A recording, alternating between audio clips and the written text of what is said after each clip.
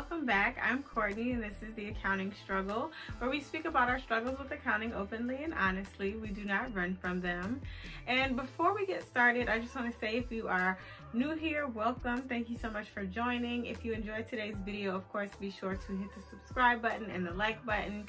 And um, if you are returning, Thank you so much for being here again. It's great to have you.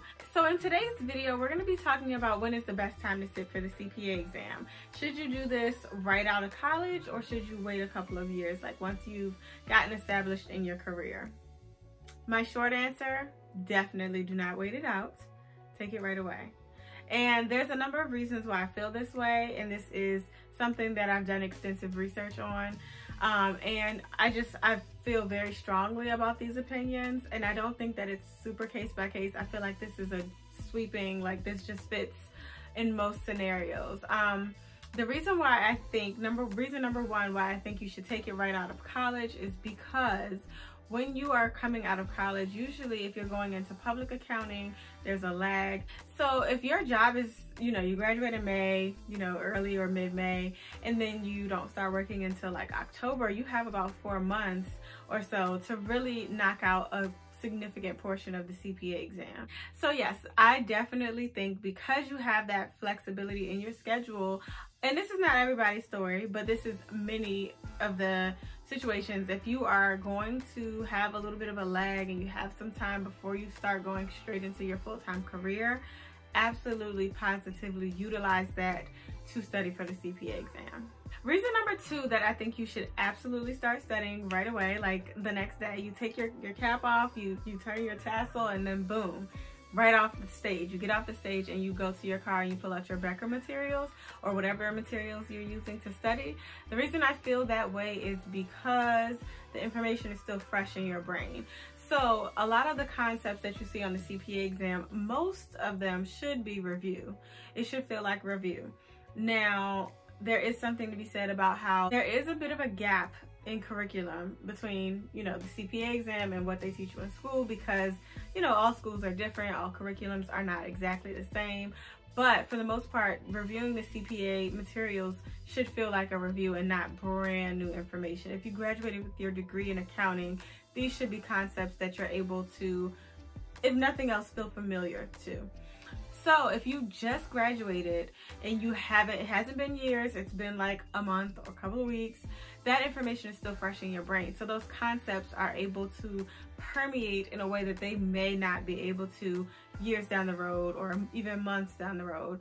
When I started studying for the CPA exam, it was the week, I took one week off after I graduated and I went straight into audit. The reason I chose audit first is because I had just taken audit and I knew in my heart I felt like that was going to be one of the more difficult ones so I should start there and I took it my senior year so I was like oh it's going to be fresh in my brain I'll go straight to that.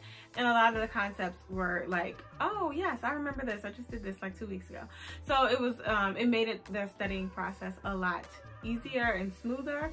Um, now I do have videos, other videos where I talk about the process of getting started with studying for the exam, which I can link here. But yes, if you are right out of college and you just your last semester took any type of accounting courses that are related to, directly related to a particular part of the exam, like maybe you took audit or maybe you took a tax course, those are the sections that you want to try and tackle first.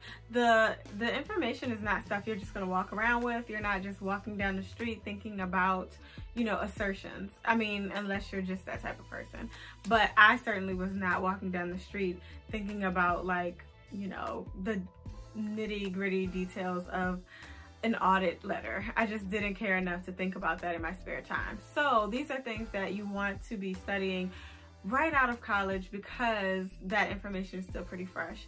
So that's my second reason for not waiting. So the third reason you want to get started on the CPA exam right out of school is because most jobs, whether that be an industry job or a public accounting firm, typically will give you a reward, a cash reward for passing. Now, I know most public accounting firms will give you $5,000 if you pass the CPA exam within your first year or maybe your first two years. Um, and they might even still give you a reward after two years, but it's just maybe half the amount. I I mean, it took me 25 years to pass. So by the time I did pass, I wasn't even working at my public accounting firm anymore, but I did still get a reward at, you know, the, the job that I have now. So they will, there is a, a financial incentive and all of the money that you shell out to study, get your study materials, pay for the exam. I mean, it's so expensive, which I go over in another video, all of the process, but it can really add up. So nothing like, you know, a reward for your hard work. Nothing says good job like $5,000. So that's a really good incentive for wanting to tackle this faster. You don't want to wait it out. If you are, you know, five or six years into your career and then you decide, you know, I'm going to go ahead and start the process. Most jobs are like, cool, good job, gold star, but we ain't giving you no money. So definitely if you can take advantage of the cash incentives, the rewards, um, definitely get that out the way. Like take it, take it as soon as you graduate, start on the process. Don't wait it out. So reason number four as to why I think you should get started right out of college with studying for the CPA exam is because a lot of jobs especially if you're going to work for a CPA firm, they hire you under the condition of okay but you're going to be a cpa right? You're going to work towards that. Um, and it's not every firm but if it's a cpa firm that's pretty high priority for them because you know it's literally a cpa firm so if you have zero intentions of ever getting your cpa and I mean, and that's if you're on the tax audit side, if you're in consulting, there are other credentials that they might want you to get. So if you're going into a career at a public accounting firm, that is going to be something that's usually very much prioritized. So if they hire you with that expectation and then you just kind of never do it, they're going to notice. They're to notice. Yeah, they're not to like that. Not to be into it. They're to they're to say something. They are. It's to show up in your reviews. There's to be so many comments about like, so where are we with that process? It's not something that people just don't talk about. The CPA exam is huge in the culture of CPA firms, as you might imagine. So if you are trying to solidify your, your place as a new associate in your accounting role and get your career going and moving forward, you definitely want to be a CPA or like very much on your way to that. So the process is started, you've gotten a couple of sections, the exam is at least scheduled. They want you to at least have your NTS when you get there. Like th there needs to be some type of proof that you have started on this journey and that you are going down this path. If there's not, nine times out of 10, this is a conversation they would have had with you in your interview process. But if you have zero intention of doing it, yeah, the there's gonna be a hard stop at where your career can grow in in a an industry role or CPA firm. So it'd be hard to really get promoted without it. Um, you can go a couple of notches up, but it, it is gonna stop at around most firms, uh, the firm that I worked for, you couldn't even get promoted to senior without your CPA. But there are some firms that will promote you to senior, but after that, you know, it's not going to manager, senior manager, you know, partner level without that um, certification. And that's the same for a lot of industry roles. They really do want to see that. So, or at least see that you're working towards it. So that's another incentive. You really want to be able to do well in your career and continue moving forward. This is something that you'll want to get nailed down very early on in your career. So my fifth and final reason as to why I think you should absolutely start with your CPA exam process right out of college and not wait it out. Don't give it a couple of years. Is because this is the easiest your life is to be. This it's only going to get more complex from here on. Take it from me. I got a little age on me. I know how this goes. I've seen this movie before.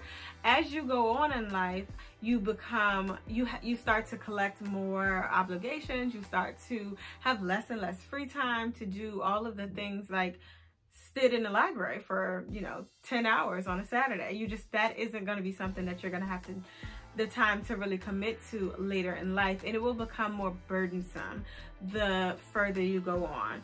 Now I know everybody's life plans are different, but the average student may graduate. If you're a traditional student, you're going to graduate around like 22, 23 with your 150, and then you go straight into your career. So you're super young, you're like 23, 24, you maybe fall in love and find someone a little later in your 20s you settle down at like 27 28 you're getting married. Well look you had like five years to get the cpa exam done. And this is a time in your life where working crazy hours is not really going to be a letdown. You're not missing any recitals.